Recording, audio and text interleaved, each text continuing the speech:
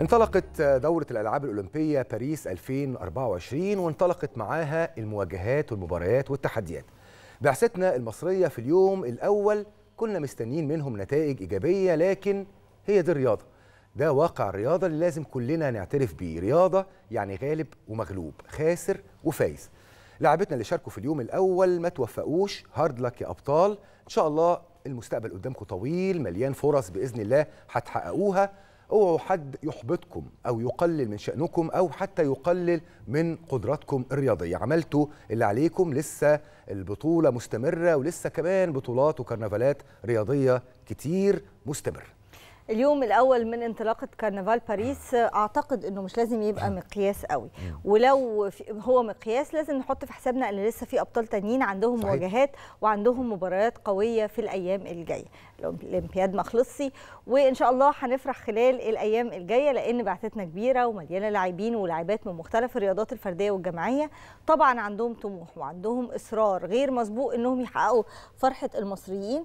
وعايزين ناخد بالنا من ضغوط السوشيال ميديا. صحيح. ولازم نبقى عارفين إن في تقسيم يا محمد للاعبين. يعني آه، أي بعثة في العالم مش بس بعثتنا الرياضية بيبقى فيها أنواع من اللاعبين. ال- اللاعبين الأقرب للتأهل أو اللاعبين اللي إحنا عاملين حسابنا في ميدالية ليهم الأقرب للتأهل ولاعبين رايحين يزودوا صحيح. آه، مهاراتهم عشان مستقبل اللعبة وعشان يزودوا الاحتكاك. صحيح. فده طبيعي جدا بيحصل في كل البعثات. زي ما أنت بتقولي يا منى طبيعي. وكمان اليوم الأول مش مقياس لسه أيام البطولة جاية ولسه في كمان فرص كبيرة جدا أمام آه، ابطالنا ربنا يوفق كل الأبطال اللي بيقدموا كل اللي عليهم. يعني كلهم فعلا عندهم مليانين كده حماس وفي عيونهم إصرار وعزيمة وطموح إن هم يرفعوا علم بلدهم في أولمبياد باريس 2024 في كل الأحوال عندنا برضو نتائج مبشرة وقوية جدا حصدناها امبارح. شفنا ده مع المنتخب الأولمبي لكرة القدم.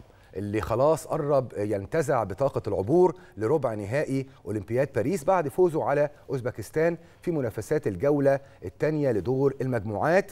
شدوا حيلكم يا أبطال مستنيين إن شاء الله ميدالية أولمبية فريق متميز يعني مكتمل العناصر. شفنا مباراة كويسة جدا امبارح. كل التوفيق للمنتخب الأولمبي المصري المشارك في أولمبياد باريس 2024 عايزه احكي لك يا محمد وعايزه احكي لمشاهدينا. امبارح وإحنا بنتابع منت... آه يعني مباراة منتخبنا الأولمبي لليد. أنا ما كنتش في البيت فكنت في العربية وكنت بسمع التعليق في الراديو. أنا الواحد قاعد عمال يتخيل الملعب ويتخيل اللاعبين هم رايحين جايين. كانت مباراة حماسية جدا. فاز طبعا فيها منتخبنا امبارح على منتخب المجر. في المباراة كانت مباراة قوية ولاعبتنا عملوا فعلا آه، جيم حلو جدا. كانوا فعلا القوة والحماس والإصرار ظاهرين معاهم. ربنا معاكم يا رجالة. في اللي جاي وإن شاء الله تفرحونا وتبسطونا في كل مواجهاتكم زي ما عودتونا وفرحتونا. في البطولات الدولية اللي سبق وشاركتوا وعودتونا صحيح. إنكم تنجحوا فيها. يعني مصر طبعا متميزة في ألعاب كتير أولمبية يعني الخماسي الحديث الكاراتيه التايكوندو آه، يعني مصارعة رومانية كمان. نفتكر آخر دورة في طوكيو 2020 مصر حصدت ست ميداليات في الألعاب الفردية. فإحنا عندنا منطقة كده تميز وتفرد في هذه الألعاب بالراهن طبعا على ميداليات إن شاء الله يحصدها أبطالنا اللي هيشرفونا ويرفعوا علم مصر في اولمبياد باريس.